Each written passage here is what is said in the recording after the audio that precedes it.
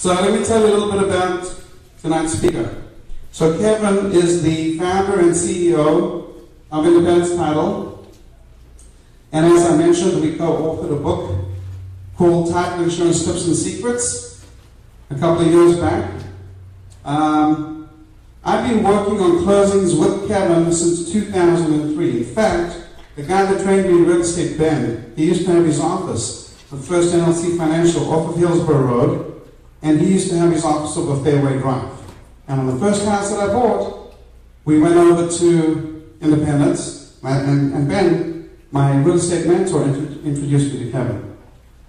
Ever since then, we've done hundreds, I mean, probably pushing, I would, I would imagine if you added up the volume of the wholesalers, we're probably north of a thousand deals with Independence Title. And, um, you know, how many years later are we now? 14 years later?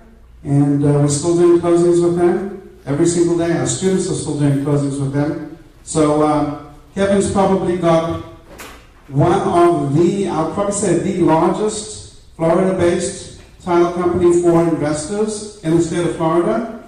Uh, so if you're looking at wholesale, fix and flip, flip, double, transactional fund, land trust, any of that, then that's where you want to be. So how about, without further ado, we give a nice warm welcome to Kevin.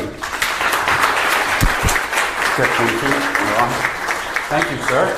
How's everyone doing? All right, we're going to need some energy in the room because I just flew in on a red eye from Vegas, and uh, I need to make sure you keep me alert here because we know the world of insurance is a boring topic to most. To me, I'm passionate about it and I love it, and hopefully, I'm going to educate you a little bit. Hopefully, I'm going to scare you a little bit to learn some of the things that you can avoid because the reality is is that you do not get the opportunity to choose the title company a lot of times. If you're buying REO properties, short sales, so you need to learn some tips and tricks to avoid lawsuits, fraud, title claims, uh, and we're going to cover that as we go on uh, through the day. Sound good? Yes. Sound good? Yes. All right, awesome. So, what do you want to learn today? Does anyone have anything specific you want to learn that you came here? You said, you know what, I want to know this. No one? How to be as confidential as possible in the process. How to be confidential as possible. So that we are going to cover that, and that's going to lead into my two rules. First rule is just silence your cell phones, put them on vibrate. If you have to take a call, please just go take it outside. Don't take it in here because it disrupts the person sitting next to you. Got it? Rule number two I'm going to give you a lot of advice. The advice I'm going to give you is 15 plus years of buying, selling, lending, uh, I hold the uh, real estate license. I'm going to give you years of experience. But there's one thing I cannot give you, and what's that? Legal advice, okay? I'm just a title company. I'm not a real estate attorney. I'm not an accountant. I'm going to give you just years of experience, mistakes that I have made. As Lex said, which I appreciate when I, and I like when he says it, is his mentor was closing with me. And it's so nice to see that evolve to where the mentor brought the student, the student became the mentor, and now brings more students. And even some of those students have become mentors. That's pretty amazing just to see in 15 years of me doing this, to see the evolution of people and how their lives are changing. Many of you came here today because you want a new opportunity in life. You want to just learn how to make money like everyone else, and it's consistency. That's why Lex said I show up at every meeting, every month. I don't miss a meeting. If I can't make it, I send someone from my office. Because if I miss one meeting, it sets me back three or four months. Out of sight, out of mind, right? So you're all here, you took some action. So I want to tell you a little bit about myself, just to give up a little bit about my family, my life, how I got into this business, why I do what I do, and then we'll get into the good stuff. Sound good? Yeah. Awesome. So some of you know my story, some of you don't. How many of you have never seen me speak before? Okay, so a bunch of you. So many years ago, I was a firefighter. I was a firefighter for six years. I went up the ranks all the way up to a captain, and then I just got tired of it. And I moved to Florida 20 days before 9 11. I signed my lease August 20th of 2001 right here. And, and I knew a few people that, that I lost up there. And one of the things that, that my wife and I, we always w- would talk about it and we figure, how do we transition my passion for what I was doing? Because believe me, I would love to go out there and drive that fire truck down the street. I would love to burn into, run into that burning building because I had such a passion for helping people. Because firefighters and police officers don't do it for the money. They do it because they truly enjoy what they do. It's crazy. Some of them are crazy for what they do, but they do it because they want to save lives. So we thought, how do we transition this into what we do? And my wife, being the intelligent one, said, you stick together with your clients. You go in the deal together, you leave the deal together, and you leave no one behind. And that's what we do. That's what we've trained our staff. We train them to go in the deal together and leave the deal together. So you know when we're here, we're going to give you the best advice we can get because if we don't close, guess what happens? We don't make any money, right? It's not like I'm charging you a, a retainer for, for legal advice. If I don't close your deal, I make nothing. So it's very important for us to make sure we can get in the deal together and then we can get out of the deal together because what do you get in the end?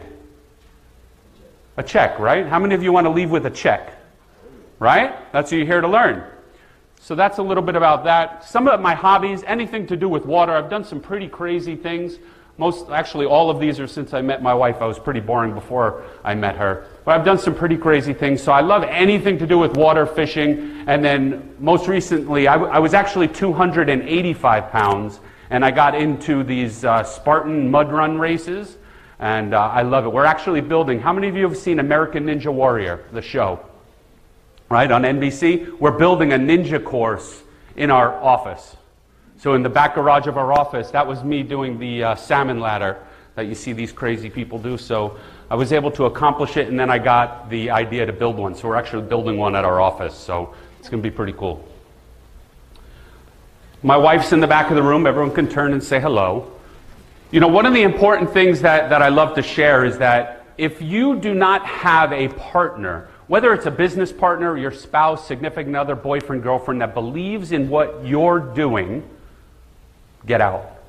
Because you will never truly be successful if they're stopping you. Okay? Because if fear is going to kill you, it's going to be worse when fear is killing them. So you need to have a partner that believes in everything you do. And we have the conversation all the time because we probably talk 95% business. Every conversation is tied to business somehow.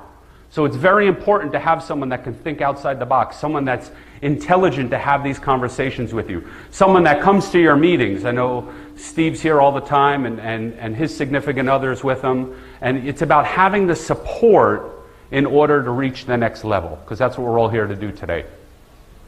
We do a lot with charity. Kids in Distress is one of the, the big ones that we do. For any of you that know the events we go to, we've sponsored, we've taken 80 kids to the Miami Seaquarium. We sponsor 26 kids for Christmas, uh, 24 kids, uh, 24 people in a family for Thanksgiving dinner.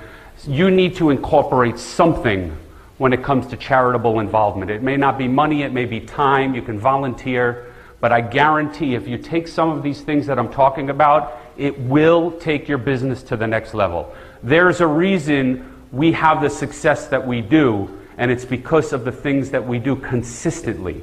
We're consistently involved with networking. We're consistently involved with charity. That's what we do. I authored a few books. The one on the bottom right is going to hopefully come out soon. Uh, but the top, those three, Sold was the one I wrote with Ron LeGrand. How many of you know Ron LeGrand? Only a few of you. Ron LeGrand was like the master, he's like the king of real estate.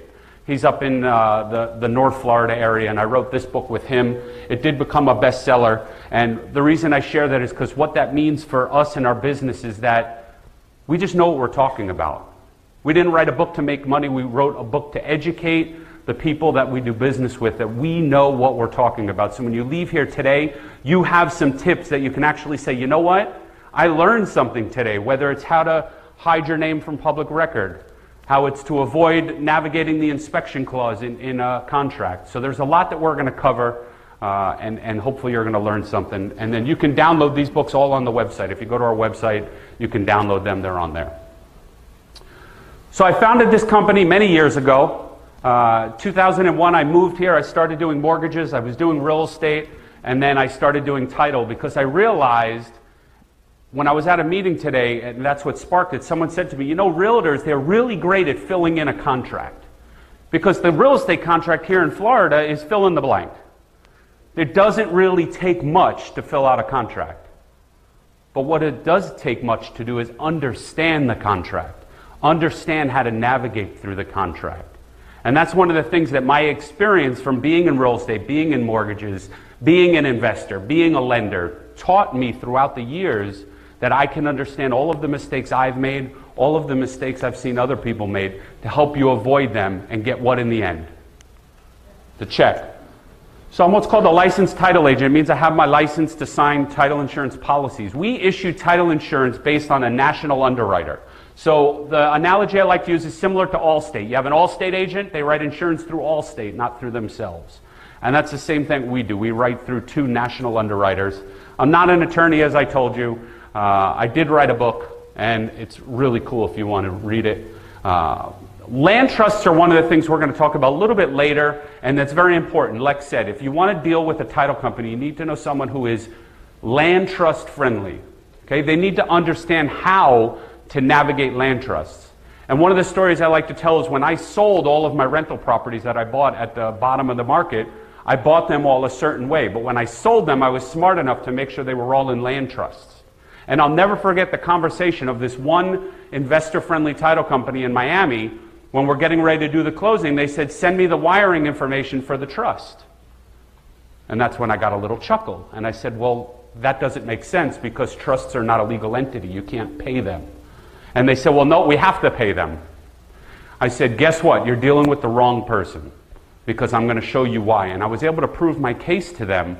But title company after title company after title company, there are many investors that come to me and say, What do I do with this check payable to the trust? Because a title company gave them a check payable to it. There's nothing. Rip it up and throw it in the garbage. There's nothing you can do. So you need to understand how do land trusts work? How do you navigate a closing using a land trust? How do you make sure you get paid in your company, not in your trust? These are very important tips that we're going to talk about a little bit later on. And I've closed over 5,000 deals. I did the count last week. We've closed over 5,000 deals in the history. Years ago, it was very, very slow. We went back. There were months we were doing three deals a month. There were months back when Lex was my only deal. And now you fast forward, and we're closing on average about 95 to 100 transactions uh, on any given month. So we basically see it all. We're ranked number five. So when Lex said we're one of the largest, we're ranked number five with our national underwriter in the entire state of Florida. That's pretty big for a, small business like ours to be ranked. That just means that we do a lot of closings. And being five star rated and being number five doesn't just have to do with the amount of closings that we're doing, it has to do with our audits that we go through every month. Our audits are crystal clean. They've never found one thing in any of our audits monthly. It's very, very important for a title company that's not behind in their audits, and we'll talk about that when we get to the insurance section. That's the staff. Many of you have dealt with most of the people there, um, but that's my, our most recent cruise we were on uh, a couple of months ago. They get a bonus incentive, and we take them on a cruise every single year if they hit that incentive, and that was one of the pictures, but that's the whole crew. And we have Victor. Where's Victor? Victor's in the back of the room, so you can all meet him after, give him your card. He's one of our investor experts as well. Our closing cost calculator you can download. Uh, you can go to our website. It's a mobile friendly website. It's Title Rates. Our website's Title Rate. You can get it from that or just go to titlerates.com and that'll give you the calculator. The important part about this, and when we talk about closing costs, you'll, you'll know a little bit more why, but most investors and realtors are doing business when? When are you doing your business? After hours? On weekends? My office is closed. We're there 9 to 5. So what happens is if you need to know closing costs at 8 p.m. because you worked your 9 to 5 job, now you have a way to get those costs. And all you have to do is generate a quote, and it'll give you all of the costs that you need to know. Very, very important. So let's talk about what is title insurance. So title insurance is a policy that protects a unique way. How many times do you buy title insurance when you buy a house?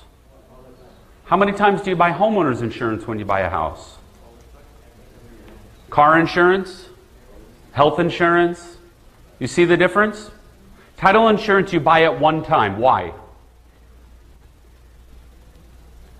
Because we're protecting in reverse. So we're guaranteeing when we do our search, we're giving you an insurance policy to protect everything in the past. We don't care what you do with your property once you buy it. We're here to protect everything in reverse. So we check liens, judgments, and which we'll talk about. We cover everything in reverse so we can see the risk that we're writing. We can run a title search and a lien search and say, you know what? This is our exposure. These are the things that we see. We're willing to insure it. And you only pay for it one time because it protects backwards and we can see everything that we're uh, covering. An important part is it does not cover permits. Write that down. Very, very, very important. The bank's title company, when you're doing a closing with the bank, they may not even pull a permit search unless you request them to, and you think you're getting coverage. Permits are not covered in title insurance. Code violations are not covered. So if you have a code violation accruing a daily fine, guess what? It's not covered if it's missed by the title company. You're on the hook for it. And we talk about chapter 159 coverage. We'll talk more about this, but you can write that down and I'll get back to it. I have a whole slide on it. It's very, very important. We protect owners and lenders. So if we're doing a purchase with a loan, we give a policy to the owner as you, the buyer, and we'll also give one to the lender. Do we have any lenders in the room? I know we have Jason here. He's with a company called Firefighter Mortgages, so pretty cool. You can make sure you talk to him after.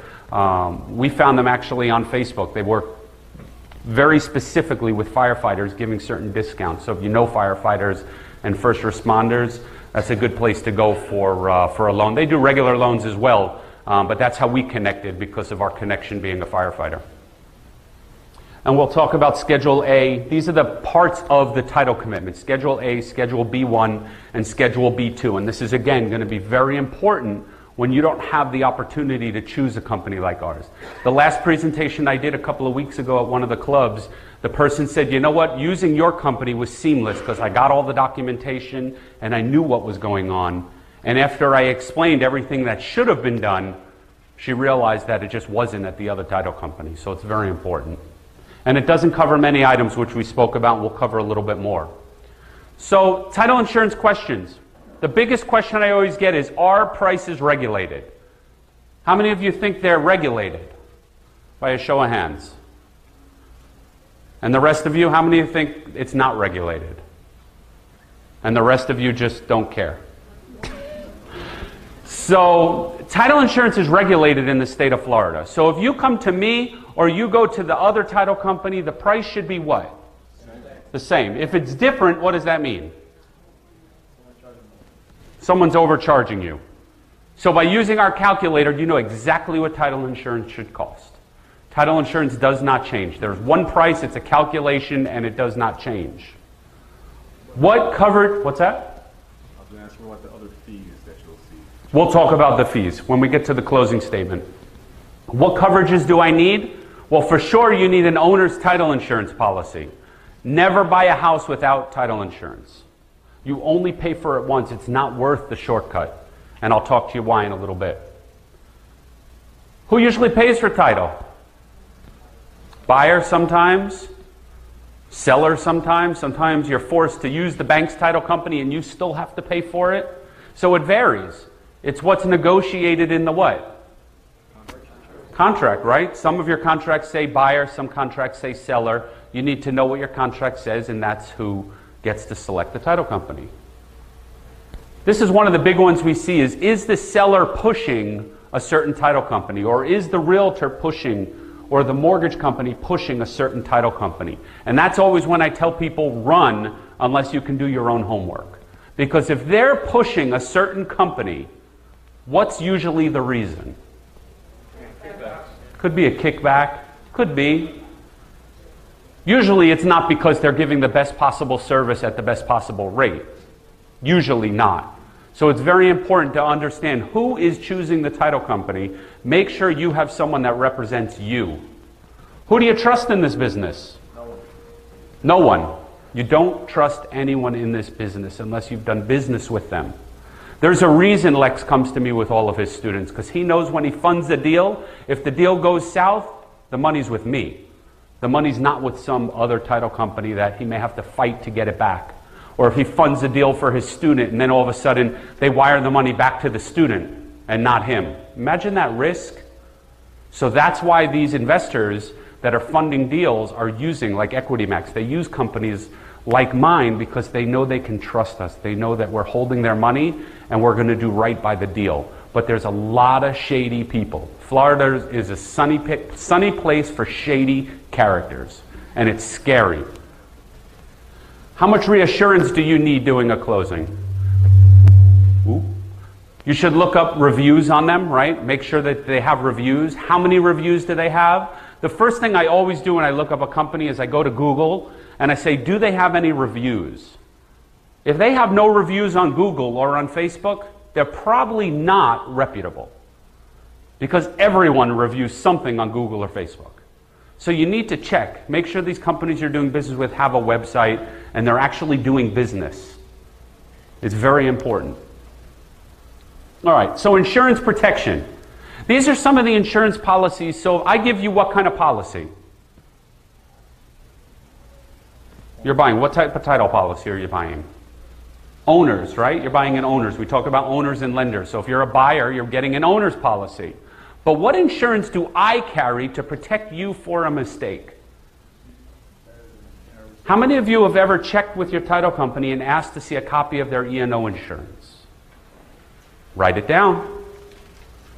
I look at the, the claims with the state of Florida every month I get from the Department of Insurance for fines for companies. And one of the number one things I see is failure to maintain insurance. Why? Because it's expensive. Insurance is not cheap. So the first thing they cut is they couldn't make the premium. They say, oh, let me just wait. Maybe I'll get it next month. Hopefully, I'll have some extra closings. Right? I've been there where we've had three closings in a month, and I say, well, how am I going to make payroll? And instead of doing what some companies do, we just wrote cash advance against our credit card. We, we did what we needed to do to survive. But we never dipped into the escrow funds, which is what a lot of companies will do. Let me just write the check and then I'll pay it back next month. And then next month is worse off than the month before. And that's how the spiral effect, that's how the, that spiral effect happens that's landing people in jail. So we carry what's called E&O insurance, errors and omissions insurance. I'm going to tell you that most of your claims you're going to have with a title company is not even going to hit their E&O insurance because their deductibles are typically so high. So you're going to go to a title company, you're going to tell them a problem you're having, and what are they going to tell you? We can't take care of it. We can't pay it. Just you take care of it. You know, file a claim if you want. And then you're going to file a claim against their E&O insurance, and it'll take forever. You'll file a claim against the title insurance policy, and it'll take forever. So, by learning some of the tricks that we're going to teach you today, some of the questions to ask, some of the documents to review, you're now going to learn how to avoid that. Because when you call the title company with a claim, they will be the last ones to write the what? Check. We have ones that for utility bills, for, for old owners, and then we have to go back to a title company and say, oh, you missed this, you didn't collect for it. And they say, I'm sorry, just pay it. And we say, What are you talking about? You're responsible to make sure. They say, Well, there was no coverage for it, so we don't have to pay it. How about you just pay it because it's the right thing to do? And that's the problem when you're dealing with title companies that are not able to own the mistakes. It's very, very important. We're the first ones to cut the check. If we made a mistake, we'll cut the check. And we make sure that our client is covered because that's what's most important to us. So, fidelity bond and a surety bond are two bonds that we cover general liability insurance for our office, workers' compensation, building and equipment coverage. Building and equipment coverage is an important one in today's market. Why? Because all of your data is stored on their what? Equipment, right? So they should really have a policy that covers all of the equipment in their office. It's very important. And the last one, which I spend the most time on, is cyber liability protection. If your title company does not send you E&O insurance and cyber liability, it's a separate policy, run the other way. What is cyber liability? How many of you received an email today that was fraud?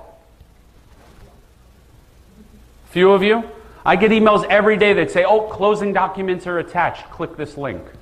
And then you open the link, It takes you to a website. You try and sign in with your username and password thinking it's your email. Now they've captured all of your data. And now they send that to a buyer and say, Buyer, please wire the money here. But it's not really the title company. So, what insurance does the title company carry for that to make sure that your money is protected when you wire it out against email fraud? Okay? Everyone clear? That's one of the largest claims we're seeing now. And the problem is, most companies do not have coverage for it. Because it's, again, very expensive to have cyber liability coverage, but it's something that you need to make sure you have. Because one hacked email can take your entire business down we have a certain security measures in place, but what if it's the realtor that gets hacked? And then the realtor sends the, the buyer fake wiring instructions because that's what they thought we sent them, and it wasn't true. It causes a big, big problem, and we want to make sure money is not lost. Escrow disputes, another big one. We just settled an escrow dispute uh, yesterday for a client, we were going back and forth, and it was simply because the buyer came to the closing table and decided not to close. And he said, Well, I want my money back. Well, it doesn't work that way. You signed a contract, and we have to go through this process. So, what I'm going to teach you here is how to avoid that because wholesaling is the process of buying a property and selling a property quick. And if you don't get out in time because you couldn't find a buyer, your deposit could be at risk. And that's the business of wholesaling. I'm going to keep the deposit back in your, your pocket. So the first thing is to learn how do you count days in the contract? Does anyone know? Business days or calendar days? Calendar days? Business days? How many of you don't know? Right? Every contract's different. Read your contract. You need to know is it business days or is it calendar days? If it's calendar days, it's one thing. If it's business days, are there holidays involved? You need to have a clear timeline as to when all of your contingencies are coming in. So the first one is the inspection period. That's the wholesaler's number one way out. You get a property under contract, you send it to Lex to find a buyer, and Lex's first question is going to be what to you? When's your inspection period expire? Because what does he need to do? He needs to find you a buyer to put up a deposit and get their inspection period cleared before yours is up so you don't lose your deposit, right? So he's looking out for your deposit. So the first thing you need to know, well, the second thing is inspection period. When does my inspection period expire? Is it three days, five days, 15 days, maybe no inspection period? Some contracts have no inspection period. You buy it as is, do your homework before. Code and permit check is another important one. The contract, the as is contract that was drafted, I think the, the most recent was, is 2014, I think, version. There's a new one coming out this month. Calls for permit checks to be done within your inspection period. Most people do not know that. Most people don't understand that that needs to be done. What are the chances that we can get a permit check and a code check within our 10 or 15 day inspection period? Well, let's ask the expert. Al, what are the chances we can get that done? It's possible, but not guaranteed. Possible, but not guaranteed. I'll go more on the not guaranteed because we order a lot of them. So Al works for our uh, lien search company. Lien searches sometimes can take three weeks up in Riviera Beach to come in. So the problem is, is if you have a 15 day inspection period and your permit and you discover a permit on day 20, what do you do? Most people go to the seller and say, Seller, can you fix this permit? The smart sellers are now turning around and saying, No, you needed to check that within your inspection period. You can't raise the issue now. So you need to make sure that either the permit search and lien search is back or it's excluded, which we'll talk about. As is contracts, know which contract you're using. People come to me and say, Can I use that one page contract that you know I, I saw at this Get, Get Rich Quick seminar? And I say, You can, but there's a reason that the most successful wholesalers and rehabbers in town are just using the standard FAR bar as is contract.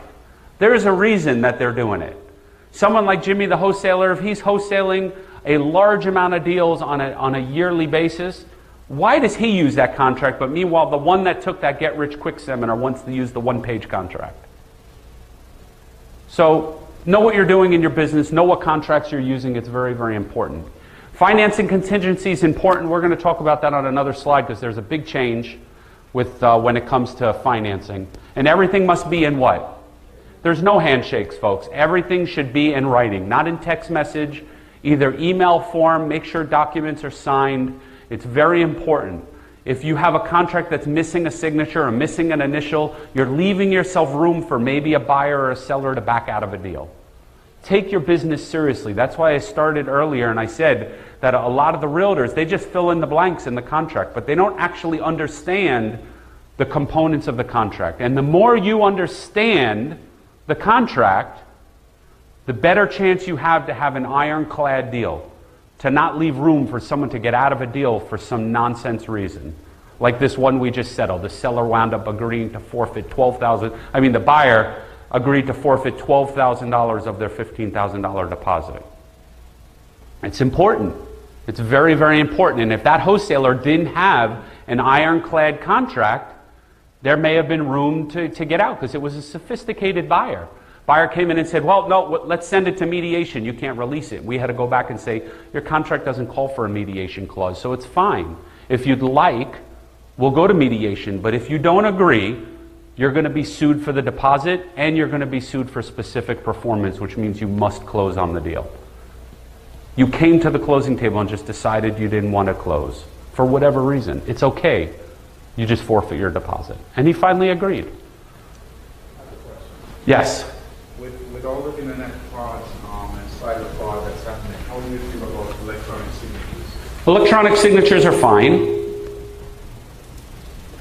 You can use like DocuSign, one of those companies. What I always say is use an email that has a double authentication. That's one of the important things. If you were here on one of these computers and tried to log into my email, it would send me a text message and say, put in this code. It's called double authentication, which means that you can't access my email unless you're on my office computer sitting at my desk or on my cell phone without this code. Very important, and Google has that if you, if you use Google. Um, when we talk about other parts of the presentation, I'll basically explain. It's the, the reality is, is they just don't know. They're just not used to it. You know, we get questions all the time from the bank, and we have to go back and prove them wrong like I talked about with the trust and stuff, it's just because they're not used to it.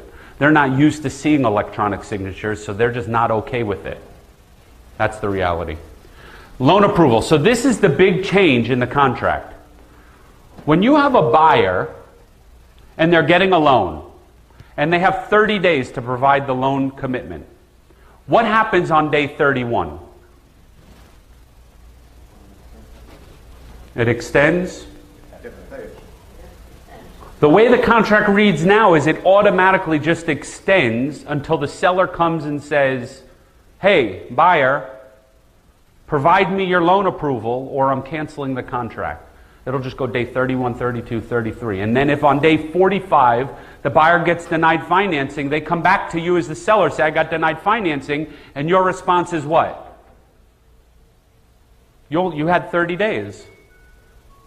I'm taking your deposit for failure to close. And the answer to you as the seller is no, you're not, because it automatically extends. It doesn't just automatically get waived. But what does this say in bold letters here? The new contract, which comes out this month, April, deems waived after the inspection period is expired. I mean, the, the loan contingency is expired. They're changing loan commitment to loan approval. So if the buyer has 30 days to provide a loan approval, what happens on day 31? Loan contingency goes out the door. It's now a cash contract. Big, big, big change. How many realtors do I have in the room? This is the, one of the biggest changes you need to realize with this new contract that comes out this month. If you're representing a buyer and they're getting a loan, make sure you either extend it before the expiration or cancel the contract. because you're going to put your buyer's deposit at risk. And then what happens when your buyer's deposit's at risk? If your buyer loses their deposit because you failed to cancel the contract in enough time, who are they suing? They're suing you. It'll cost you more to defend the lawsuit than it will to probably pay them their deposit back. Scary, but you need to know that. It's very, very, very important. All right, lien search matters is an important one that I talk, told you I'd cover. This is text, and if you email Victor, if you take Victor's card or give him one of your cards, we can email you this language. This is the language that was drafted in order to keep permit issues, code violation issues, homeowners association violations out of the what? The inspection period. Remember we said the inspection period, you have to do your permit check before the expiration of your inspection period.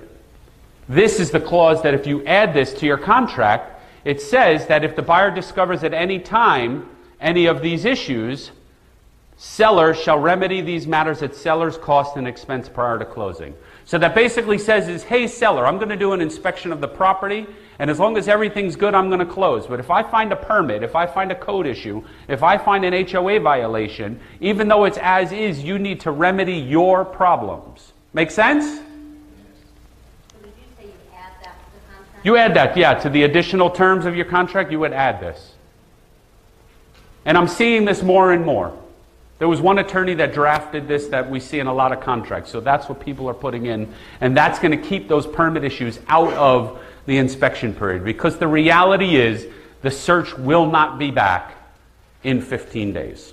If we order it on day one, maybe. But lien searches typically aren't ordered right away, they're ordered once we get into the deal a little bit. So, different types of searches. This is a weird one that, that I like to talk about a little bit to write down. Lien search are not actually liens, believe it or not. So, a lien search, which is weird, I don't know why they call it a lien search. Go back to the other slide. Did you also do a hold harmless on uh, on on? Well, the hold harmless is typically going to be at closing. This is to get you w- before the closing. So if you discover a permit issue, an expired permit because they opened for a new roof and never had it inspected, do you want to be responsible to hire an engineer to go close a permit? I don't want to. So that's why that's important. And remember what I said permits are not what?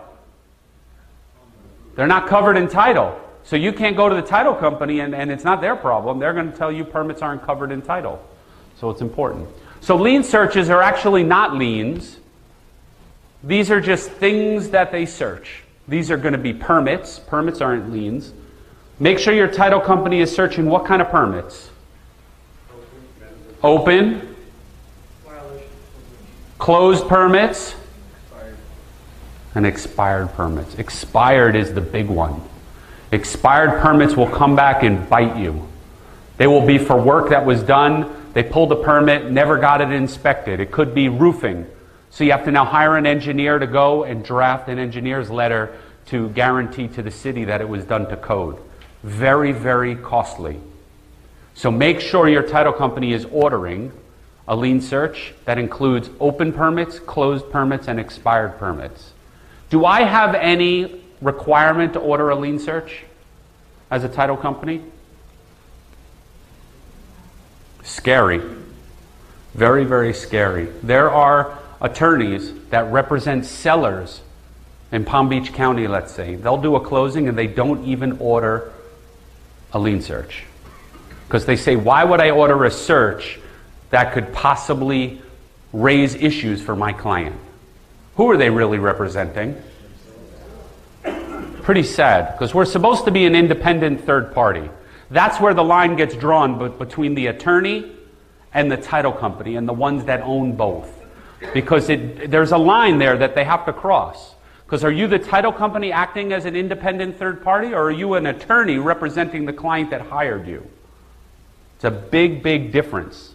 And it's unique to find the ones that know how to navigate the two.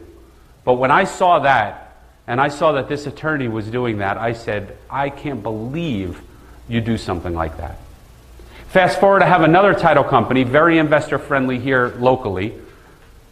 They made one of our clients sign a document that said, Buyer, we've ordered a lien search as a courtesy to you, but we're not giving you any coverage for it. Does that sink in with any of you? We've ordered a lien search on it's it's almost like saying I've bought you car insurance, but if you get into an accident, I won't fix your car. Okay? It's pretty scary. So you mean I ordered a lien search, I paid for a lien, lien search, but you're not giving me coverage. That's pretty scary.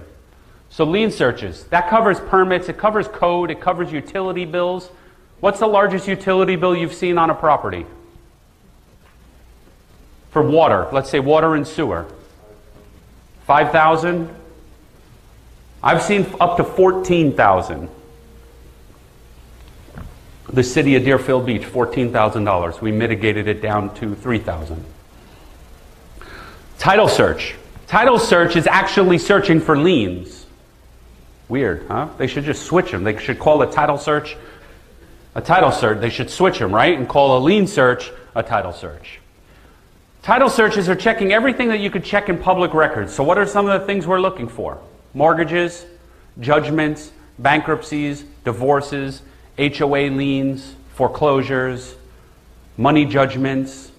That's everything that's recorded and tied to usually either the owner's name or the legal description of the property. Tax search verifies the property taxes. So that's going to check to make sure property taxes are paid. One of the unique things that you need to realize, well, how many of you have gone to the tax collector site to pull a search? Okay, one of the things you need to search for is back taxes. We see a big mistake for companies that look and see that the last year was paid, but didn't realize there was a certificate from two years back. And my famous story was Palm Beach County told us taxes, the website said taxes were due on a property. So we called them and said, Can we get a payoff? And they said, We're sorry, our website's wrong. Taxes are actually have been paid on this property. We said, Okay, can you just send us a letter that says taxes are paid? Makes sense, right? So I have it because there was a discrepancy. So we got the letter, put it in the file. Two years later, my client calls me and says, Hey, by the way, my, my property's going to tax deed sale. So what are you talking about? Those taxes were paid. We called the county, the tax collector's site, and they said, I'm sorry, our letter was wrong. Taxes are actually due. Cut us a check for $6,000 or your property's being sold. And I spoke to the news. That's when we were on one of the NBC stories we were on. And they basically said, hey, sue us. But I work for the county and I'm on salary, and you have to hire an attorney on retainer. So unless you can find an attorney to work this case for free, it's going to cost you more to defend it than it will to just pay the seven, six, I think it was $5,700 in taxes. That happened twice already with the tax collector. So it's scary. So you need to make sure you have that coverage. And then OFAC name search. How many money launderers do we have in the room? Okay, a few of you raised your hand. Money laundering is a big one that we search for. That's one of the number one delays at funding is when we search a name and, and something gets triggered. It could be we just need more information, maybe a middle name, a date of birth, something like that, just because you may have a common name on a money laundering or some terrorist watch list or something. Um, but we check it. We check to make sure that uh, the people we're doing business with are actually good. All right, title insurance policies. So we issue prior to closing what's called a title commitment. How many of you have ever read a title commitment? One, two, three. So, three of you in this room.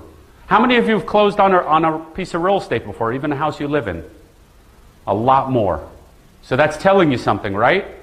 Your title commitment is like leaving the auto insurance company with a binder. They give you a temporary card. The title commitment is your temporary insurance card to let you know that I'm going to cover you. And I had an investor came to me. It was with a, a, title company. I think it was Red Door Title they were called. They did a first and second mortgage. The title company just never paid off the second mortgage. And they came to me saying, "What do I do?" I said, "Well, where's your title commitment?" Because he didn't even know who it underwrote through. He just knew the title company's name, but couldn't get a hold of them. So by having the binder, we would have said, oh, you underwrote through First American or through Old Republic. Let's go to them and file a claim, and they'll represent you instantly.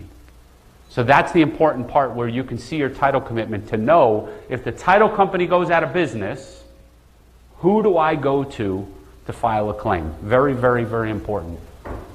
We talked about owners and lenders. Reissue rates are a big one. If you've bought a property, and this is good for you if you're, if you're wholesaling or if you're buy, buy, fix, and sell. If you purchased a policy within the last three years, you get what's called a reissue credit. And title companies will not give it to you, and they will not ask to give it to you unless you ask them. Imagine that. So, why not, if you can get a significant discount on your insurance policy, why do they not give it to you? Why do you think? Huh? They lose money? Right? They lose money. If your insurance policy is lower, that means they've made less what? Commission. So, knowing that if you're buying, fixing, and selling, take your title insurance policy, send it to the title company, and say, please give me a reissue credit on the title policy. And now you'll get a discount on your title insurance. Wholesaling is the only caveat. We can't do it unless we're doing both closings, which is why people like Lex will send us both closings because I can give you, I only charge one closing fee for both deals, and I only and I give you a reissue credit on the policy. So it's cheaper than if you take closing A somewhere else and then come to me for closing B. It's cheaper to just come to me for all of it. You said it was three years, right? Three years, yeah. Three years from the effective date of the title policy. And then you leave your title company with what's called a marked up title commitment. Write that down.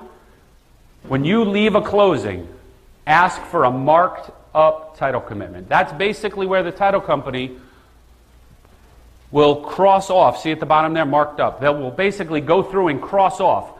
This has been complied with. This has been complied with. We're deleting this.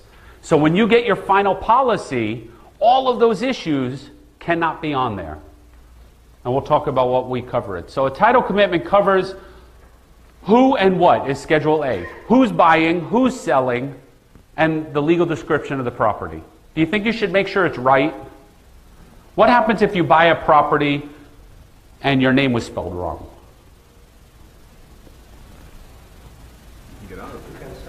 You don't have a problem. You may have a problem selling it. That's the important part. You may have a problem selling it. So check the title commitment, make sure your name is spelled right. Very, very important. Uh, B1 are what's called requirements. This says, I will, as a title company, comply with all of these items in order to give you clear and marketable title. So, what should we do on a marked up title commitment with everything on Schedule B1? We cross it off, right? So, when you get your marked up commitment, it should be everything on Schedule B1 should be crossed off. What do the sneaky ones do? They move B1 issues to B2, which means that it's what? An exception, which means you have no what? That's the little trick. That some of these title companies, when they raise title defects, they just take the defect, they move it to B2, you close because you never looked at the what? Your title commitment. You didn't know. And now you closed with that underlying issue. That's how scary this business is, folks. Because that's what they do. Reforeclosures, judgments, code enforcement liens, they just move them to Schedule B2. And now you have no coverage. So when that code enforcement issue comes back later, the title company is going to tell you you have no coverage. So look at the title commitment. That's going to be your checklist to make sure everything that's being taken care of. You signed.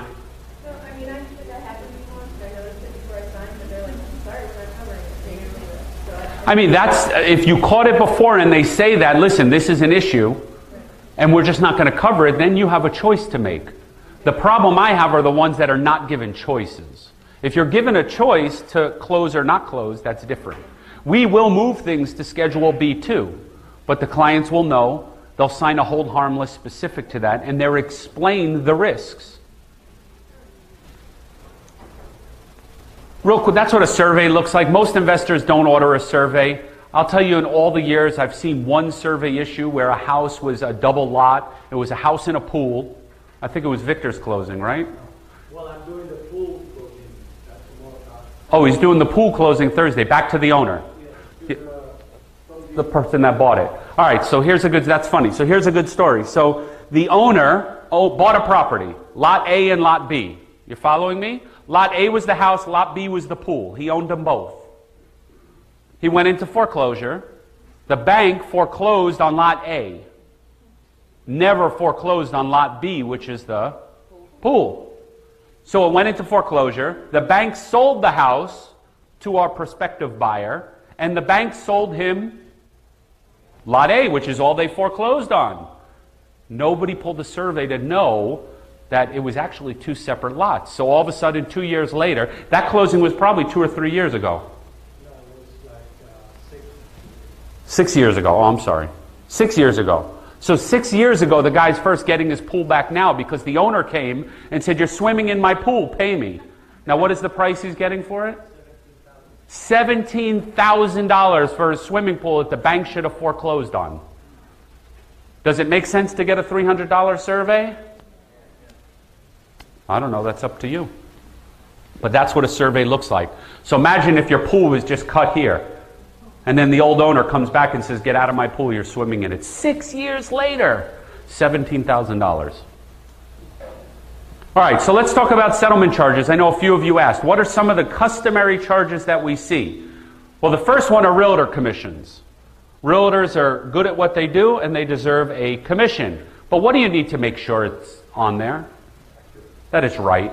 What do most realtors look at on a closing statement? Their commissions, and then they send it to the client and say, Oh, looks good. right or wrong, that's what happens. So, realtor commissions are important. Transaction charges are also important. All real estate companies, for the most part, nowadays charge a transaction fee, a coordination fee, a processing fee, whatever kind of fee you want to call it. They all charge it. If you didn't agree to it in the contract, you don't have to what? Pay it. Just look at your contract. If it's in your contract, you pay for it. If it's not in your contract, you don't have to pay for it. Lender charges are an important one. Know what your lenders are charging so there's no surprises. We hear stories all the time. Hard money lenders, all of a sudden, two points became three points. Three points became four points. Four points became inspection fee and an appraisal fee and an admin fee and a doc prep fee. And all these fees get added in after. So know your fees up front to know what the charges need to be. Transactional funding is usually 1 to 2% of the deal. Uh, we'll talk more about that later. Lien search and title search, again, if you look at a closing statement and you see a lien search or a title search payable to the title company, I'd ask to see the invoice. I'd ask to see the invoice. Because if I pay $75 for a title search, why would I charge you $150 for a title search? Processing fee, I guess, to maybe download and look at the search. To me, that's why I get title insurance. That's why I charge a closing fee. So look at your closing statements and see what are the title companies charging and ask to see the invoice. And then the next question is if the invoice is lower than what they're charging you is why are you charging me more? Our invoices are payable to our lien search company, to our title insurance underwriter that provide that service. We don't pad any of those fees. Owner's title insurance and lender's title insurance, where do you get that calculation? Because remember, it's a regulated rate. Where do you get it? Your phone, your, your mobile app, right? The title rates site will tell you how much it is. People call me all the time, and the first question is, What are closing costs on, on a deal? I'm buying a house. I say, I can't give you that. There's so many factors that have to do with who pays, what fees, what is the price, are you getting a loan? So I can't just tell you. There is no standard. Fees will range depending on the deal. Survey, we talked about. REO title company charges. One of the big ones I see on this that, that we get waived a lot is when someone like Jim's buying or, or Lex, they're buying a wholesale deal. And on title company A, all of a sudden they're charged an attorney fee on a closing.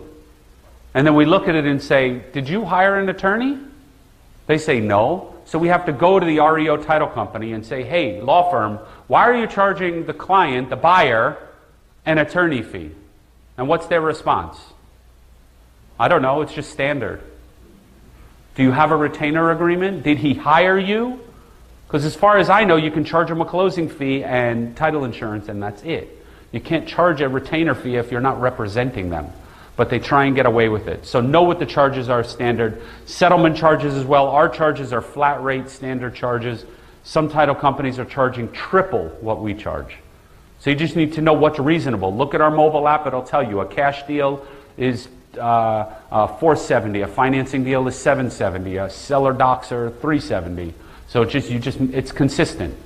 So you need to know what they are. And doc stamps, and this is an important one where I tell wholesalers uh, a, a scary story. As we had a wholesaler, I think Jim was funding the deal, came to us and said, uh, "We're not making any money." I said, well, "What are you talking about?" He says, "We have zero profit." And we tried to figure out why, and it was because the wholesaler agreed to pay the seller's fees on the buy. I mean, he, he agreed, yeah, he agreed to pay the seller's fees on the buy, and he agreed to pay the seller's fees again when he sold it. So he got double hit because he paid seller, buyer, and then as the seller. So doc stamps are a big number.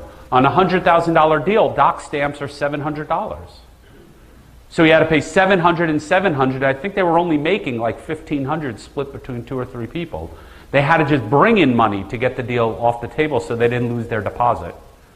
So you need to realize in your contracts what am I paying for on the bank contract and make sure it's what on the one you're selling. The same. If you're buying one way, sell it the same way.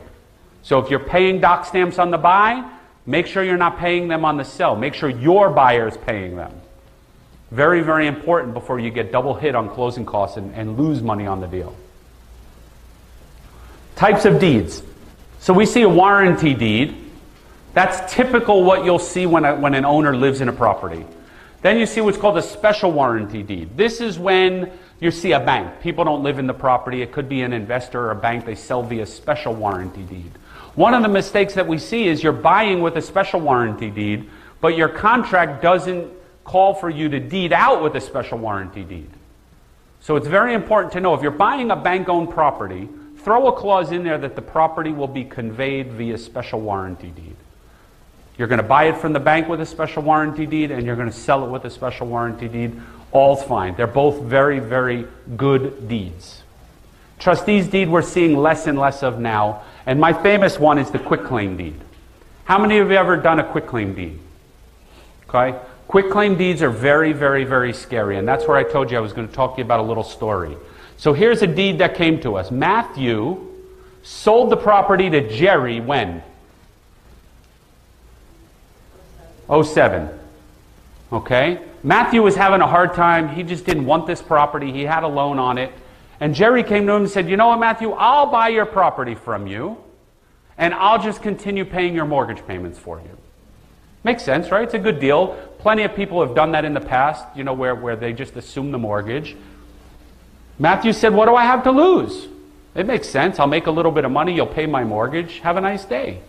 Well, guess what? Jerry's trying to sell the property. Okay? And there's an existing loan on it that Jerry's been paying for all these years. The problem is, is we don't know if Matthew was married or single at the time he sold the property. And he was living in it, which means if he was married, his what needed to sign. And nobody can get a hold of Matthew. So there's defect number one. Defect number two is what does this say? Anyone read that? Abbreviate. What is an abbreviated legal description?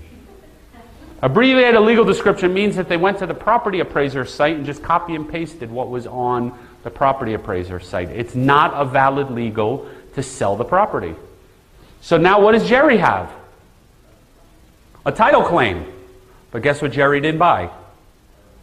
Title insurance. How many years later? Very, very, very important. Stay away from quitclaim deeds. Was this an honest transaction? Absolutely. But because nobody handled it and they bought this document probably from Office Depot, it now caused the problem. Quitclaim deeds are also scary. How many of you saw our NBC story with the guy that we uncovered the big fraud scheme. Steve saw it. So if you haven't seen it, just go to our website and check out. It's right on the homepage. Our NBC story. The guy's still sitting in jail, waiting to go to trial. It's been over a year from a home stealing scam that we uncovered.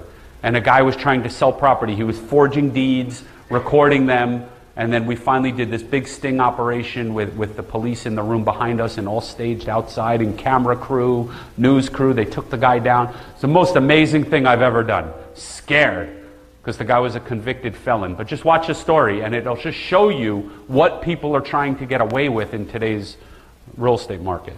Yes. So a parent trying to transfer property to a child, what do you recommend instead of? They can do a quick claim deed if it's done properly. Yeah. Interfamily transfers, divorces, deeding property to kids, um, deeding property into a, a trust. You will see quick claim deeds. I'm not saying quick claim deeds are bad. They're bad when they're used for the bad reason. So usually interfamily is usually fine. But there's no reason you can't do a, a warranty deed. There's no difference. Cost the same. Doc stamps are doc stamps. If doc stamp, the problem is, is people would do quick deeds. All those times they would do ten dollars and seventy cents, pay the minimum doc stamps, not realizing doc stamps were actually due. They just chose not to pay it. The county will record anything, and now people are getting hit with all of these money judgments for failure to pay doc stamps. So, so if they all cost the same, like, why is it? Exactly. Just because that's what people always said. Oh, just quit claim the property. Oh, just quit claim the property. They just assume it's less work. It's not any less work. One says quick claim deed, one says warranty deed. Quick claim deed is basically when someone is saying, I'm giving you this for whatever in exchange, and I'm just waiving all liability. I, you can never come back to me for anything. Would you want to receive that? That seems pretty scary to me. You just want to give it to me. I better do some research to make sure it's good. So if I have a property that I bought with claim, do I, how do I get it to warranty? Do I use this to the title company? when you sell it. There's nothing you can do now if you already own it. But it would be smart to do a search and see what underlying issues may be there. They did title search, but I got title insurance. You can have title insurance with a quick claim deed. Yeah, yeah, I actually talked to you guys about this past stuff. Did they do it? Very rare you're going to see someone do that. They, they would do a, they would have to do a thorough search and see why. Maybe it was a bank and there was a reason, an explanation that the bank was giving it. But normally you're not going to find it. Maybe once, you know, if they did it. Have you seen it at all, Victor? No. So, I mean, there could be a reason that they did it, and then maybe it has to go to underwriting. Remember, we're underwriting risk. So there are things that three or four title companies may not do, and they bring it to us, and we do it. Because we go to our underwriter, we say, let's actually look at the risk. Like this one is a perfect example. We're trying to figure out what is the true risk from this guy from 07 that never came back. The risk is that he has heirs to his estate that says that was my property and it was fraudulently deeded over. That's the risk. So it's all risk based. So the seller, they do not represent you. Remember that. We talked about that, right? They close with what's called the hold harmless. Now, when you're closing with the bank, they're going to give you what's called the hold harmless agreement. That's a blanket document that says you agree to close, and if anything happens after closing, you're not covered. That's pretty scary, folks. Never sign a hold harmless agreement unless it's specific to something. We have them in our closings for surveys, for, for lien searches if the client decides not to order a lien search, for maybe code enforcement issues that the buyer knows they're getting. Never sign with a blanket hold harmless because you are opening yourself up for exposure. They do not disclose title defects. Title defects, they usually just move to where? Schedule B2. They move them and hope that you'll close. They don't order permit searches a lot of times, so you need to know to ask for what kind of permits. Open, expired, closed. Very important. They do not understand investors. We know that. If you go to a bank and tell them you're flipping a deal, what are they going to say? Not in my house. Right? They will not understand that you're flipping a deal. And I just had another claim we were going through where an investor tried to come to me because the wholesaler passed off his end buyer's deposit as his deposit. And he's claiming fraud on me that double closings are illegal. And I said, double closings are not illegal. If the wholesaler is buying it and funding it cash, there's no reason to disclose that they're reselling it. They're two totally separate, independent contracts. I have the duty to disclose contract A with the facts of contract A and the facts of contract B. Unless they're trying to do funny business, it's not illegal. So if you hear flips are illegal, they're not. It's just how they're done. When you're using the end buyer's money, which there are some companies that'll do, to fund the first transaction, now you have a duty to disclose because now you're making two deals what? One deal. That's why transactional funding is so important. They don't allow double closings and they don't have lower fees. So know what your fees are and know how to save yourself. You know, when we review deals for, for Lex and his students, sometimes we'll go to the front side and knock off three, four hundred dollars. Do that multiple times in a month. It saves you guys a lot of money. E-recording is something that we do. Um, we were one of the first ones in Florida doing it. That basically means we can take a document, you close today, we record today, and it fixes the seasoning that the FHA lenders are requiring sometimes. Where they're saying, oh, we want to see the person that owns the property for 30 days, 60 days, 90 days. So by us recording, because the reality is, is the counties are 30 to 60 days behind with recording if you were to send it to them via FedEx or courier. So sometimes it could take 30 to 60 days to get your deed recorded. We literally close today, record today. In Broward County, it's minutes. Palm Beach and Miami are a little delayed, maybe a day or two. But very, very important to make sure whoever's using uh, e recording, the title company is doing it. Okay, so fraud is a big one that, that we talk about. So we see fraud a lot. Why, we can no longer accept checks for closings. We used to, how many of you used to close deals in the day where we would take a certified check? Some of you, no more. Certified checks are no good. They're not worth the paper they're written on unless it's given in advance of closing. And then we can get it in the bank, verify it's cleared. Uh, we can't take it anymore. The deals need to be funded via wire transfer. And one of the important things here is make sure that you're conveying that message to your buyers. Because a lot of the international buyers, they're trying to avoid wire fees and they're sending a what? Well, they're sending an ACH, which is an electronic funds transfer. Okay? So you need to make sure that they're actually sending a wire because if that electronic funds transfer hits our account, what do we do? We deny it. Then it's going to take time to get back and it's just going to delay the closing. So make sure you're clear with your buyers because if you're wholesaling a deal, you may be in a short timeline, and if all of a sudden that money comes in via electronic funds, you could lose your deposit on the front side. It's important, folks. Very, very important fact. Deeds must have witnesses and notaries. It's something you can look at. Um, that's what, some of the things that we check, but some of the common issues that we see. Homestead property. So if you know you're buying from a homeowner, so you, if you're in the habit not buying from the banks, you're doing short sales or you're doing uh, regular seller work where you're dealing with sellers, just know that if it's homesteaded and they live in the property and they're married, their spouse has to join on the contract. Don't get to the closing table to find out, oh, my wife's not available. My wife's out of town, she's in another country. That was the story we got with the fraud guy. That the one was in Hawaii. He's in the military on a, on a military base somewhere. So right away I smelled something, and we tracked the guy down. But that's the story you're going to hear. Spouse has to sign if they live in the property. My spouse is out of the country. Seller's proceeds, you hear remote deposits a lot, wiring instructions. Just be careful when you're communicating via email. Wiring info, where to send your proceeds, because your profit can very easily be transferred somewhere else. It happens every single day. So just be careful who you're talking with at the title company. Maybe verify on the phone that you have the right wiring instructions. So you'd call our office, and say, hey, Victor, can I just verify the wiring instructions you have? Many of our good clients and tons of students of Lex's, you guys are already stored in our system, so it makes it easy. Um, but if you're closing with these title companies, verify they have the right wiring instructions before they send the wire because it could wind up going to somebody else. And quitclaim deed properties we talked about in EFT. That was the story. That was Mr. Ferguson that, that came in. That was him right there. And uh, it's a pretty cool story. So just watch it. It's a three or four minute story on our website. All right, so double closings. We talked about it. They're never done where? At the bank, right? If you tell the bank you're doing a flip, what do they say? No way, folks. There's two sets of closing costs. What's the alternative to a flip?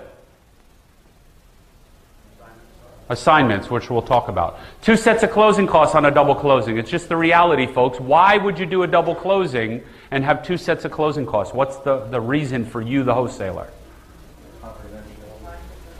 Confidentiality of your what? Your profit. How many of you want to go to a buyer and say, you know what, I'm making 15 grand?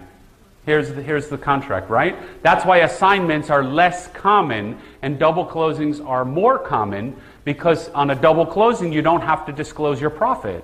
Not that they won't see it in public record, but by then your closing's already done. So it just keeps your purchase price confidential. It's not none of their business how much money you're making. They're closed simultaneously, which means basically we're closing A and B the same exact time, one second apart. Even more of a reason why the title company needs to be investor friendly to make sure they can navigate that. Hard money lenders love it. Companies like uh, Equity Max, they love double closings. They will fund you on double closings. And then they love e recording, which we talked about, right? It gets the mortgage and the deed recorded instantly. So, very, very important. Another reason why you want to make sure you're dealing with someone that does that. And then assignment of contract. I think this one talks about it. So, assignment of contract, we're seeing more of them now because the profits are a little bit less. The problem with double closings is the profit is higher, so that's why they do it. On an assignment deal, you may find a deal where the profit's only two or three thousand dollars, and an assignment makes sense for you to do. Right? An assignment is basically where you buy a property, you agree to buy a property, and then you sell the rights to that contract to somebody else to step in and close. So you just make a fee. It could be 3000 5000 whatever that fee is. As long as you don't have a problem disclosing the profit, an assignment's going to be much better. It's one set of closing costs, one title policy, one set of doc stamps, one set of fees.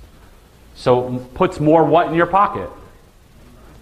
If you can get away with it, an assignment's great. You just need to find a title company that can handle assignments and handle it properly because you have to be very careful with them. Because could you imagine we're sitting at a closing table and the title company is just rubbing that assignment fee in that buyer's face. How does that look for you? I'm not saying you hide it, but you have to do it. You have to be careful. You have to be tender with these types of transactions to make sure the deal closes. So sometimes you can and sometimes you cannot be released from an assignment. Just look at your contract. Do I have the right to assign it? And if so, do I get released from liability? Which means once you assign it, if that buyer doesn't close, you have what kind of liability?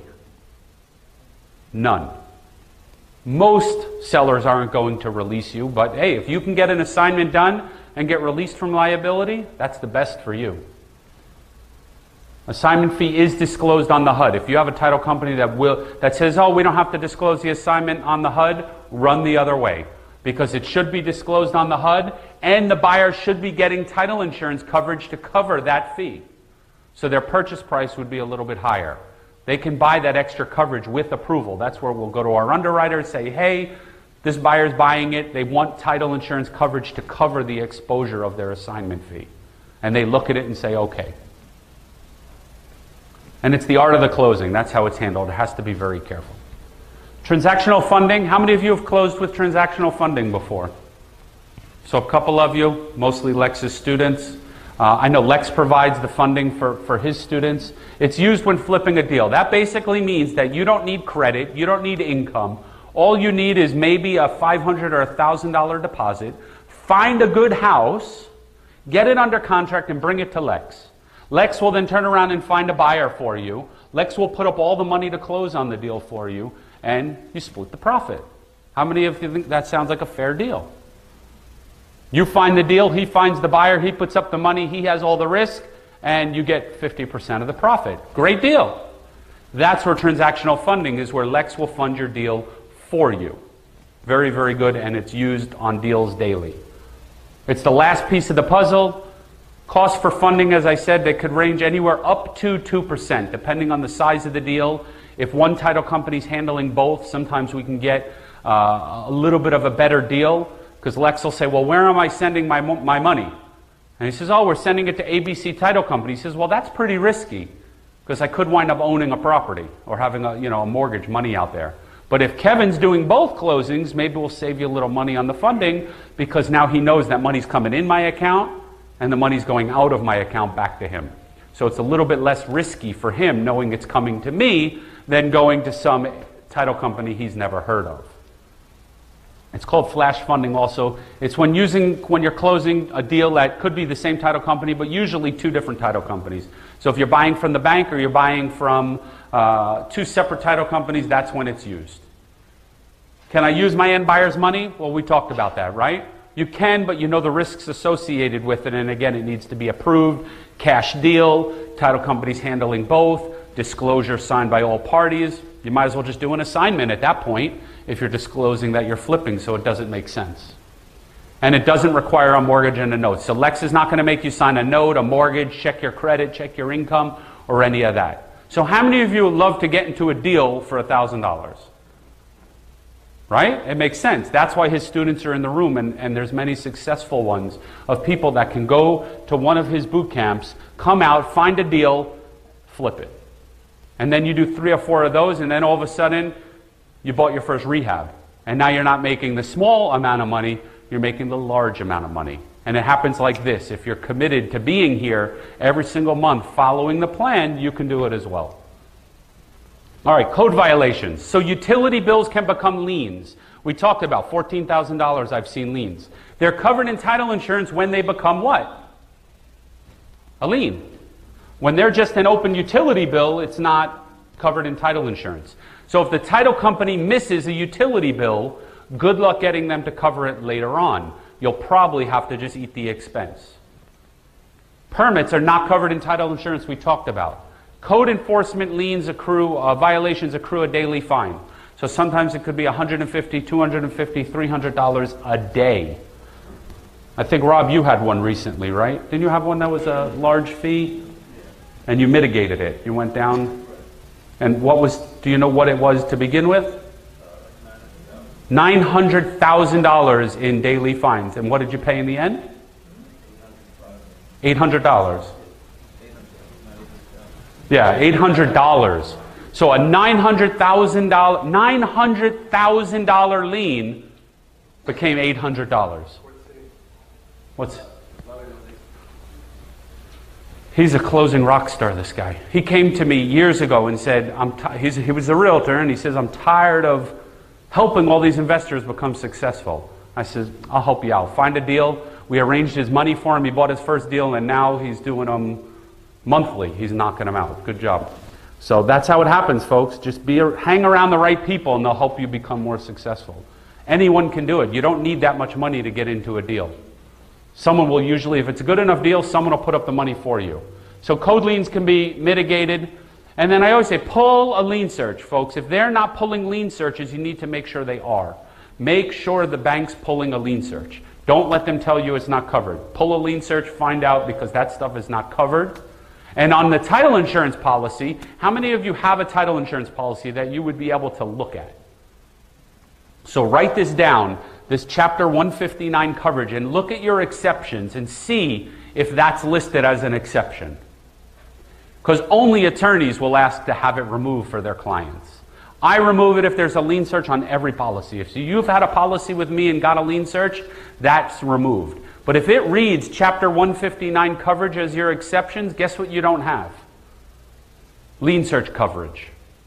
You don't have coverage, and that's what they do, folks. They order a lien search, they put it as an exception to the policy, and when the issues come up, they say it was an exception to the policy. And the problem is, is you can't then go to the underwriter to have it removed.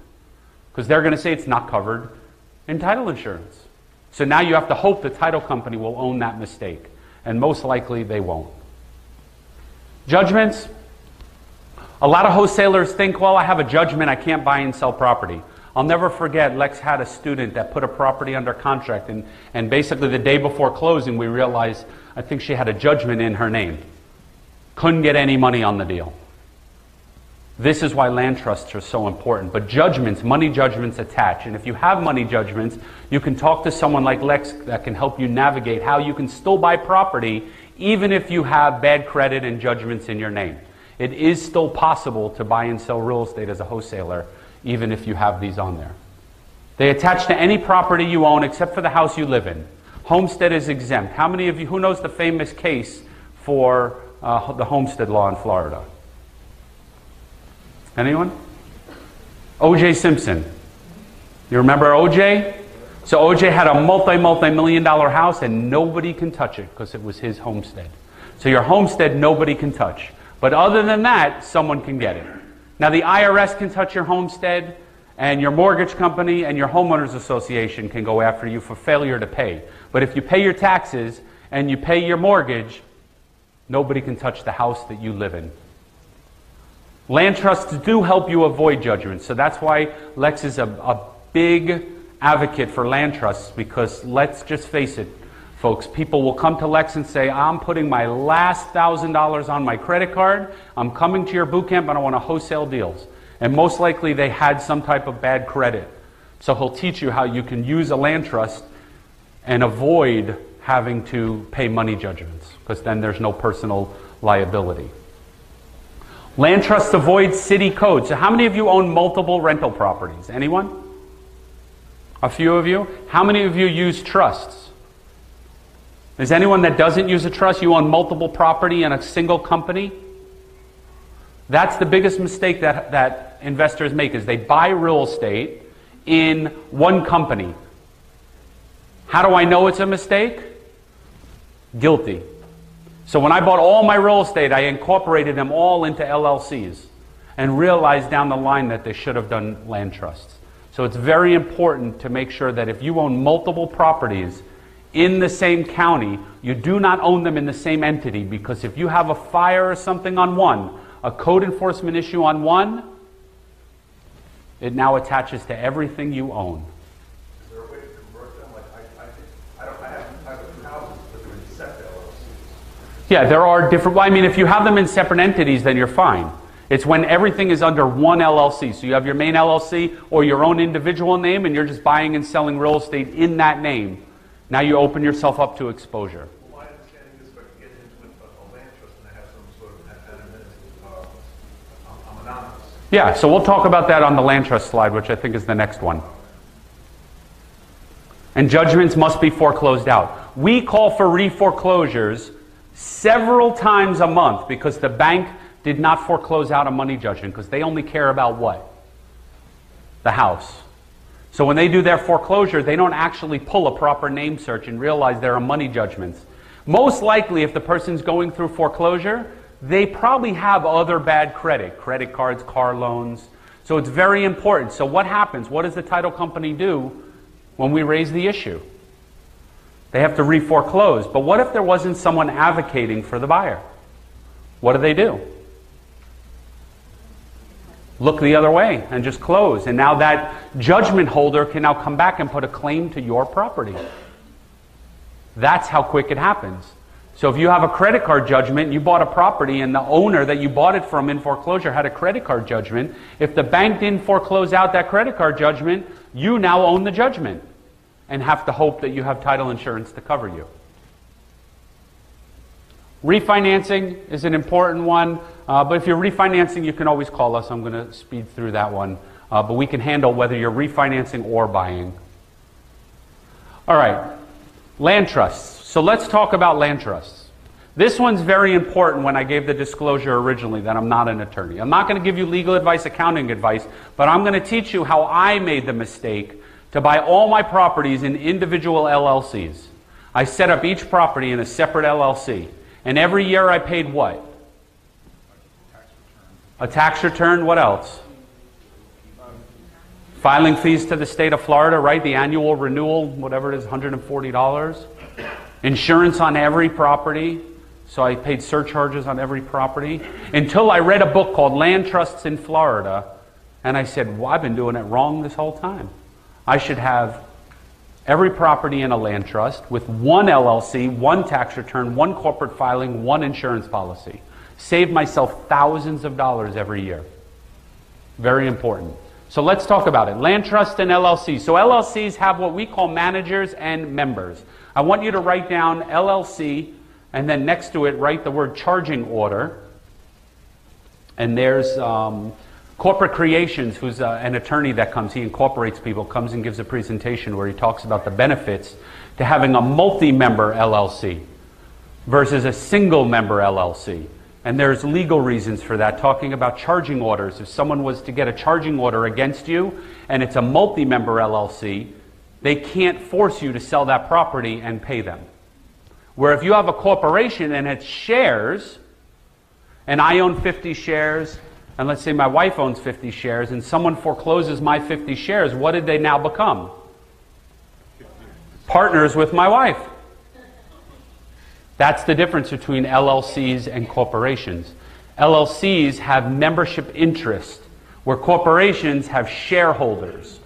Big, big difference. Shares can be foreclosed on. Land trusts have trustees and beneficiaries. How many times we see people come to us and the trustee and the beneficiary are what? The same. Folks, if you're going to use a trust to buy property, just do it properly. Usually you're going to be the trustee and it's fine. You can have a corporate trustee if you wanted to and you pay a fee. Like the guy that wrote the Land Trust in Florida book does corporate trustee work for I think $350 a deal. But you can be the trustee individually. And who would be the beneficiary? Your company. So when we talk about hiding the uh, exposure of who owns the property, if you have it in a trust, you could be the trustee, which is of public record, or a third party trustee of public record. And what's not of public record? The beneficiary. What's also not of public record? The trust. What doesn't file a tax return? The trust, no tax return. Who doesn't hold the bank account? The trust. Who owns the property? Good luck trying to find out, folks, when you're using land trust. That's the benefit of using a trust. Good luck finding out who the actual owner is without filing suit and going through a whole process of subpoena, sending a subpoena to the trustee and trying to get a copy of the trust. Is the trust recorded? Is the trust registered on Sunbiz? Does the trust have a tax ID number? Tax return. So that's the benefit. So imagine you're using a third party trustee and a land trust, you are 100% out of public record. Nobody would know what you own. If you're buying using a land trust and you use a third party trustee, like this company, uh, Mark Warda's company, he'll be the trustee. Now you've hidden yourself completely from public record. So does that mean you don't need to do some incorporation in Nevada and, I mean, in LLC? That's a whole, and you know, it's a good question. So she's talking about incorporating in states that do not have public record like us. Nevada, um, Delaware are two that, that come to mind for me that most people incorporate. The reason for that is, furthermore, in your LLC, nobody would know who owns the LLC because it's not a public record. So that's an, another benefit to why people will use that. I always say it's depending on your level of paranoia. Because I know investors that buy and sell property in their own name thousands of properties in their own name. They don't care. That's how they do their business. And then some put it in a corporate entity, some put it in a land trust, some put it in limited partnerships. Depends how far down and how paranoid you want to get, or how private you want to be. If you're under a land trust and you're being sued, you essentially have to disclose the fact that you have. If you have, yes. If you have, you have to disclose. So if somebody's really serious about going after you, they're going to figure it out anyways. Yes. Yeah, but the best part about land trusts is they're not recorded anywhere. So nobody knows who has what. They could come to you, but at what point they get to you, most likely you've sold that beneficial interest in the land trust long before they've even gotten to you. Because beneficial interest in land trusts can be sold. You can sell them. So there's a perfect example why people do it. Because then if someone were coming after you, you could have sold the beneficial interest months ago. Nobody would know because it's not recorded anywhere.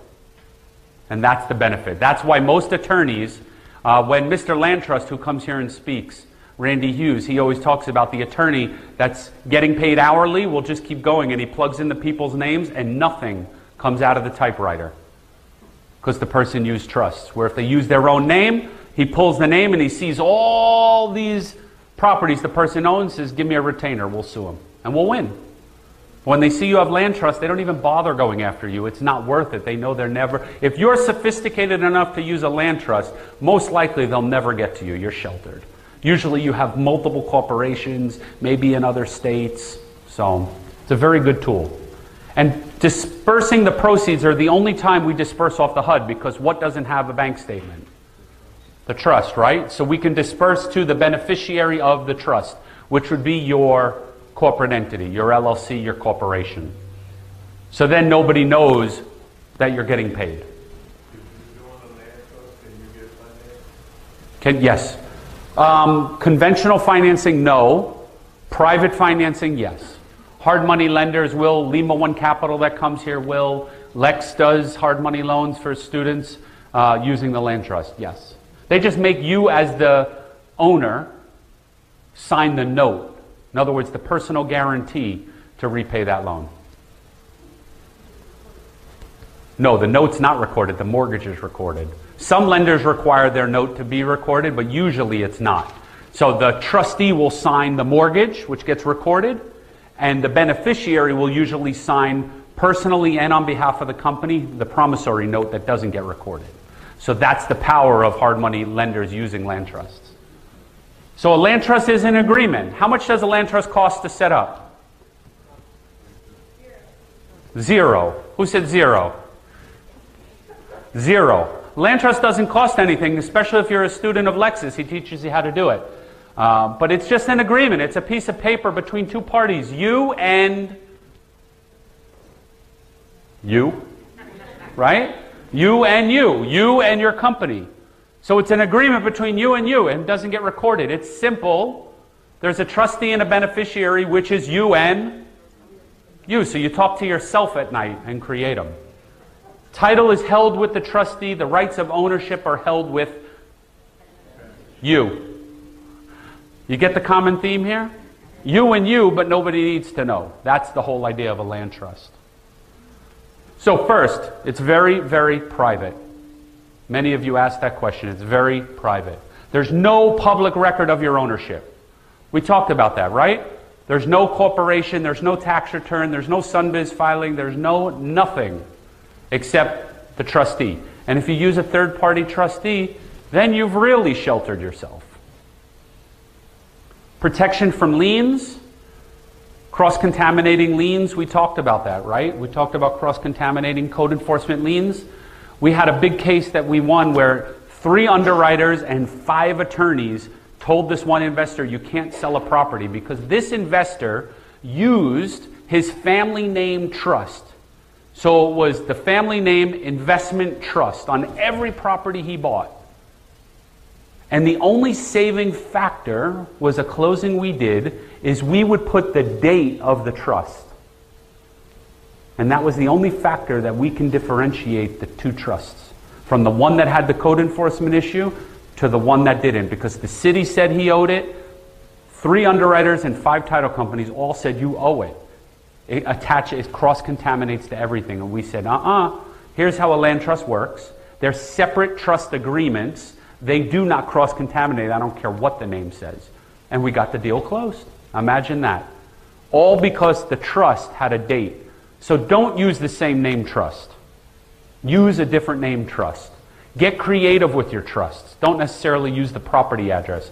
1234 Main Street Land Trust. Get creative, right? But don't use the same trust because it doesn't cost any more to set up a new trust with a new name on a new property. Because once you set up your first one, you're fine. It avoids probate. So whether it's on your personal property you live in or on an investment property, the whole idea of using a trust is to avoid probate. We've seen it many, many, many times. And then all that probate does is turns into a battle for the family. So just put stuff in trusts, even if it's the house you live in. You can easily manage it. Avoid deed restricted properties. This is another big one where investors are buying trusts. They're buying a property with a deed restriction, could be on a short sale and they're just either selling the company or they're selling the trust. And it doesn't trigger the, the due on sale clause because they're not selling the property. It's only one closing. So that's why a lot of them use these uh, for short sales. Investor partnerships. This is a big one. How, how many of you practice real estate but do not have a license? None of you are wholesalers that don't have a license? I beg to differ. One of the number one issues we see is wholesalers practicing real estate without a license now becomes a what? Does anyone know? A misdemeanor, maybe? What kind of felony? Third degree felony for practicing real estate without a license. So I'll give you an example. If he doesn't have a real estate license, and Lex has a property he put out on his list, and he calls Lex and says, Lex, I got a buyer for you. What did he just do? Committed a felony, folks, because he doesn't have a real estate license.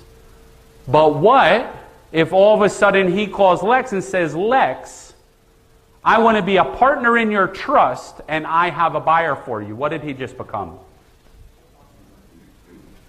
A vested interest in the deal. Did he commit a felony now? No. And if I see the claims with the Division of Real Estate of all the wholesalers I know, I put their names in. Look them up. If you know any wholesalers in town, go to the Division of Real Estate and put in their name for complaints and see how many are getting hit for unlicensed activity. And unless they can prove they were using a land trust or they had some type of vested interest in the property, they've committed a felony, which is why most of them do what? Get licensed. Most successful wholesalers will tell you it just got annoying to fight, so they just went and got their license. And now they double dip on deals. They get commissions and profit. So it has its benefits. Hard money lenders love it. So that's what the land trust looks like. So it would have a day, a date, a month, a year, a trust number or a name. By in between would be the trustee and the beneficiary, and the legal description, and that's it. One page, then the, the back pages are signed, witness, notarized, and your trust is now set up. Sound simple? And very inexpensive. So, my last question this one's a little self serving for us, but I like to ask because I, I, I want to drive home the reason Lex has been using us, his mentor used us, his students use us, any chance they have. And the question I have for you is Does the title company you're closing with actually have an office? Or do they have an executive suite somewhere with a common receptionist and they're never there? And it's important, guys. This, this is how you can tell if the company is up and running and reputable. Do they have a client base? Do they have Google reviews? Do they have people endorsing them? Do they offer you something of value? How many of you learned something today that you didn't know when you walked in the door? Okay? So they have to be able to offer you something of value. Do they look out for you, or are they like the bank that we talked about that look out for who? The bank, right? Or if an attorney's doing a closing and representing the seller, is he really representing your best interest? I'm not saying they're going to do something wrong, but who hired them? Who's paying a legal fee and who are they representing? You want to make sure it's an independent third party. Do they have a website? And three employees is the important part. Do they have three employees or more? Why do I say that? Because investors call us and they say, oh, the attorney's out for lunch. He'll fund the deal when he gets back. Because there's only one person that can send wires. I know one title company that's very investor friendly. There's only two of them. And neither one has had a vacation in many, many, many years because you can't leave. So we have 12 or 13 people at the office, four people that can fund, many people that can sign checks and, and disperse deals if needed. So it's very, very important to make sure because wholesaling is the art of the deal, we said. So you want to make sure someone is there ready to fund that deal because if that front side doesn't get funded, you could lose your deposit or start paying a per diem every day. So it's very important to make sure that they're quick, they're ready to go. And are they experts at what they do? So I'm going to end with this little message. You can write it down if you want. If you go to kevinsquotes.com, that's one of our number one uh, things that we do. We do a daily quote. Does anyone receive them here? So no, a few of you, Steve, you get it? So this is a daily quote that we do, and they look like this every day when they come into your email. It gives a quote and an action. Many, many people have been inspired and motivated, and it's free. You just go to kevinsquotes.com and subscribe. And then there's a double opt in because you have to put your email address and then click on an opt in link that they'll email you. So this one I pulled, this was my message for 2017. Uh, it says, When I fail to go after what I want, I am what? What does it say? Never going to have it. So if you don't do something different today, you're never going to have it. When I fail to ask, the answer is always. So if you don't go to Lex and say, Lex, can you fund my deal? The answer is always going to be no. Lex, can you put up my deposit on this deal? If you're one, if he's one of your, if you're one of his students and it's a great deal, maybe he will. But if you don't ask and you lost the deal, who lost? You did. And when I fail to step forward, I'm always in the same place, right? Because if you don't go out and do something different, you're no better off than when you walked in today. There are reasons. Where are Lex's students that are in the room? Look around for those of you that are not raising your hand. These are students that are going to be machines. Some of them are doing multiple, multiple deals every month because they care, they come here, they're consistent. Someone said to me, Well, you don't even need to go to, I think it was you that said on the video, this guy Kevin, I see him at all these places, and he doesn't even need to go to these meetings. That's what you said on your, your testimonial. And the truth is, is it may appear I don't have to, but I do. Every single month I'm consistent consistently bringing in deals, consistently educating people, consistently closing transactions. So you need to be able to do the same thing by surrounding yourself with good people. So go out and do action on something that you want to do. If it's get a deal under contract, find a distressed seller, work on building your buyer's list, work on getting your business cards if you have no business cards, work on something that can take your business to the next level. So a few things you can reach out. Title Tuesdays is the important one. There's the sign on the back that you can just text in if you want to join it. I have a gift for you is that if you sign up for Title Tuesdays and email us when you get it next Tuesday, we do it every Tuesday. If you email me that you got the Title Tuesdays and you watch next week's episode, I will send you this entire PowerPoint, which I don't normally do. I don't like to release it. So if you want a copy of the PowerPoint, just subscribe to Title Tuesdays, shoot me an email on Tuesday saying, hey, cool video, and we'll send you the PowerPoint. But you can just go to our YouTube channel. This is all about education. So everything I talked about today, Marcelo over your, your back left shoulder there records me.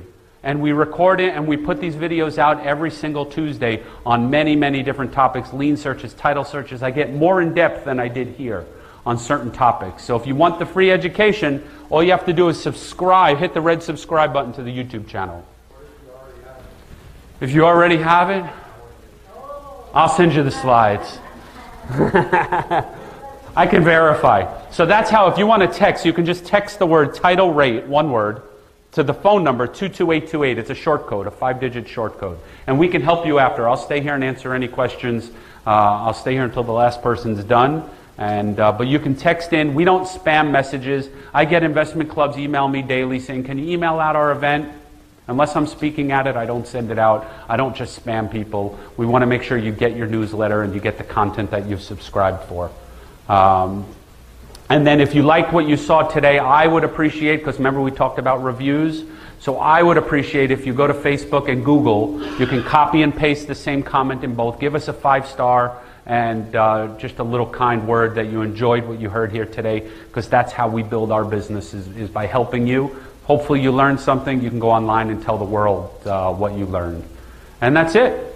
Any questions for me?